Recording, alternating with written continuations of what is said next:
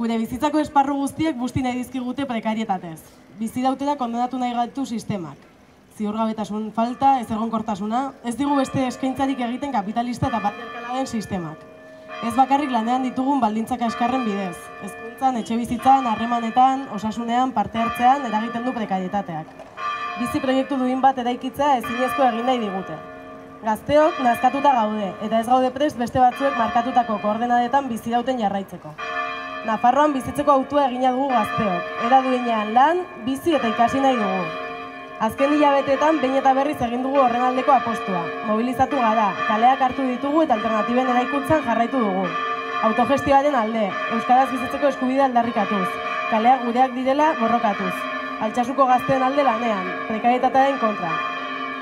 Gazteok badugu zer esan, zer egin eta zer borrokatu. Nafarroan garatzen hasiaren eraldaketa sozial eta politikoa. Horretan ere motori izatea dagokigu. Nafarroaren buru jabetzaren aldeko pausuak ematen jarraitzeko konpromisoa hartu eta eraldaketan sakontzeko apustu egiten dugu. Herrigintzatik eta herri mugimenduen alde.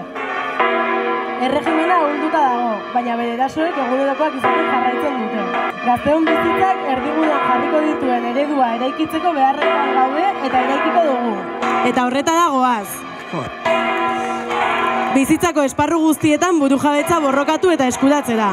Konstituzioaren gainetik, injustizien gainetik eta lege arrotzen gainetik, zapalkuntzen gainetik borrokatzera.